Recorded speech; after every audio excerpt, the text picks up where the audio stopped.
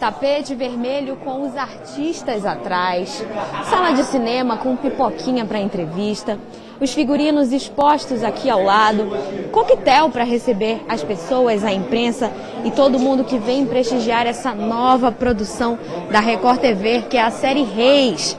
Tudo muito diferente de tudo que você já viu na tela da Record. Reis será dividido em temporadas, assim será feita em forma de série. Esta primeira, que começa na próxima terça-feira, é Decepção, que vai retratar o afastamento de Israel em relação a Deus e o péssimo exemplo dado por aqueles que um dia foram escolhidos para conduzir a nação rumo aos caminhos do Senhor. Gente, olha só os figurinos da nova série Reis. É tudo muito bem produzido, muito bem planejado, pensado, estudado para que fosse o mais fidedigno possível às histórias originais. 92 atores foram escalados para fazer esta primeira temporada. E outra novidade que tem essa série vai ser a parceria com as redes sociais, tudo muito digital. Você consegue conferir tudo no site r7.com/reis, com vários podcasts, episódios disponíveis por lá.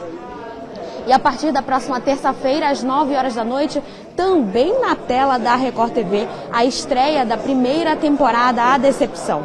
A princípio, serão várias temporadas, serão divididas em temporadas e essa primeira vai contar um resumo de toda a história de Reis. A partir de então, da segunda, serão feitas as histórias de cada um dos reis, a começar pelo rei Saul, que será o protagonista da segunda temporada. Vai ser uma série que vai contar a história de Salmos, Provérbios, Eclesiastes e, claro, vai explorar a fundo os escritos dos livros Primeiro e Segundo Reis e Primeiro e Segundo Crônicas. O diretor da série Reis vai conversar aqui com a gente, Juan Pablo. Como que foi toda essa produção?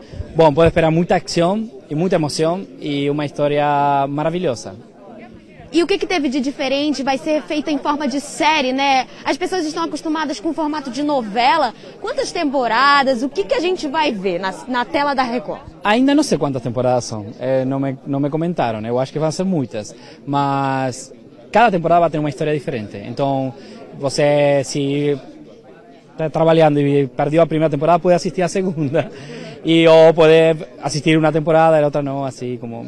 Pero cada, cada temporada tiene una historia y unos protagonistas diferentes y acontece en un momento de historia diferente. Entonces, eh, todas esas temporadas van a tener eh, cosas nuevas para, para percibir, nuevos, eh, nuevas historias, nuevos reyes, nuevos eh, enemigos, nuevos villanos, Juan, vocês fizeram uma coletiva totalmente diferente numa sala de cinema, até para mostrar para todo mundo um trechinho dessa superprodução, né? A gente viu que tem muito figurino, tem muitos atores. Foi uma mega estrutura que vocês montaram para essa série? É uma mega produção. É a primeira vez que eu trabalho de um, deste jeito, com uma produção tão, tão, tão grande.